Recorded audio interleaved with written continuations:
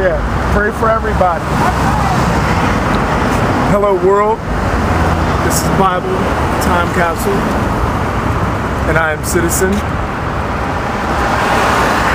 Today is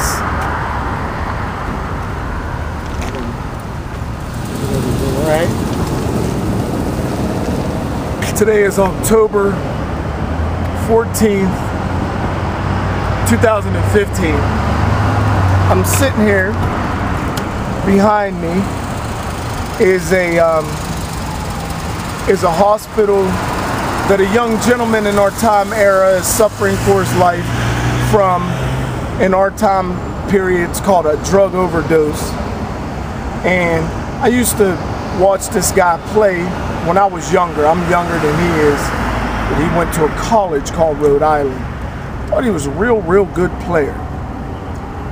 Thought he might be the next Michael Jordan. He was, you probably know in your time, the best in a game called basketball. Anyway, I just I live in this area in Las Vegas, Nevada, United States. And I decided to say a prayer or read Bible Time Kapsule, which is a prayer when you read this good word, and let the vibrations go out to the heavens. And may the vibrations from what we're about to read, I haven't read it yet,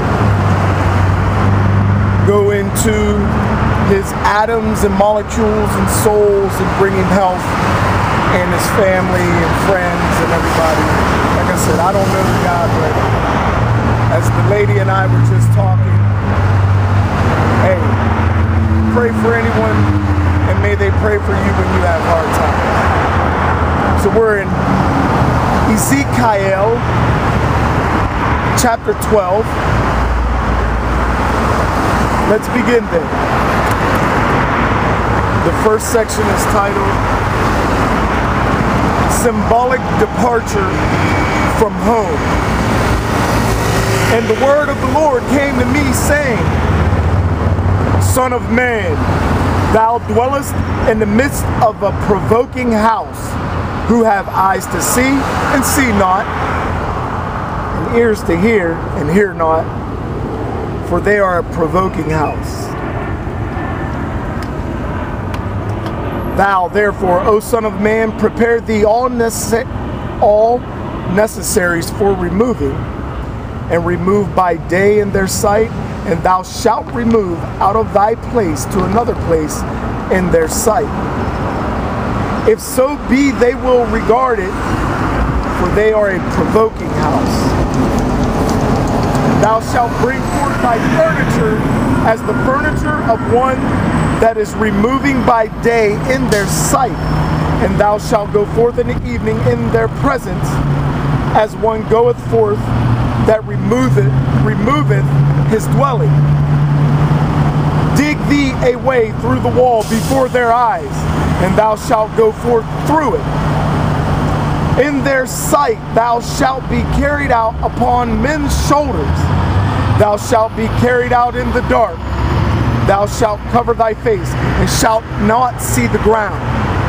For I have set thee for a sign of things to come to the house of Israel. I did therefore as he commanded me.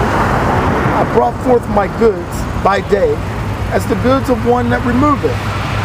And in the evening I dig through the wall with my hand. I went forth in the dark, and was carried on men's shoulders in their sight. The next section is titled Seditious Capture Foretold.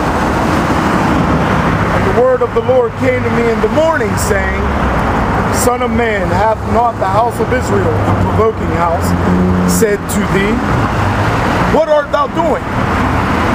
Say to them, Thus saith the Lord God, This burden concerneth my prince that is in Jerusalem and all the house of Israel that are among them.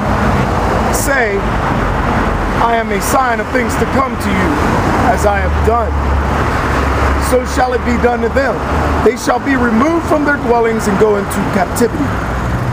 The prince that is in the midst of them shall be carried on shoulders. He shall go forth in the dark. They shall dig through the wall to bring him out. his face shall be covered, that he may not see the ground with his eyes. And I will spread my net over him, and he shall be taken in my net, and I will bring him into Babylon, into the land of the Chaldeans. And he shall not see it, and there he shall die.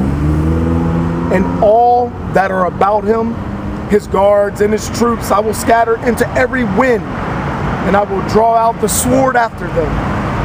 And they shall know that I am the Lord, when I shall have dispersed them among the nations and scattered them in the countries.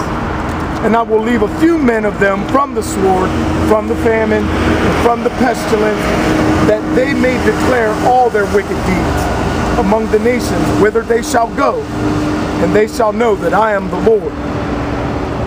The next section is titled Desolation of the People.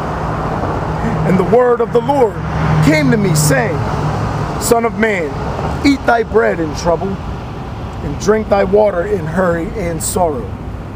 And say to the people of the land, Thus saith the Lord God to them that dwelleth in Jerusalem in the land of Israel, they shall eat their bread in care, and drink their water in desolation, that the land may become desolate from the multitude that is therein, for the iniquity of all that dwell therein.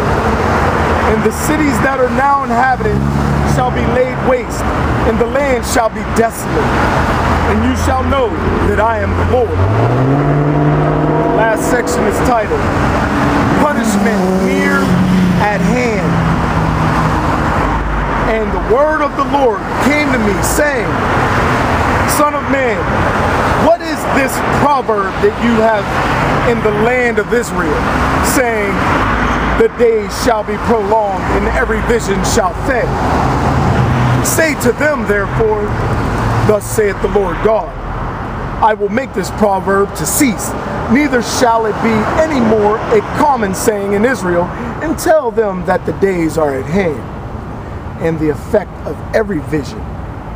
For there shall be no more any vain visions, nor doubtful divination in the midst of the children of Israel for I, the Lord, will speak, and what words soever I shall speak, it shall come to pass, and shall not be prolonged any more.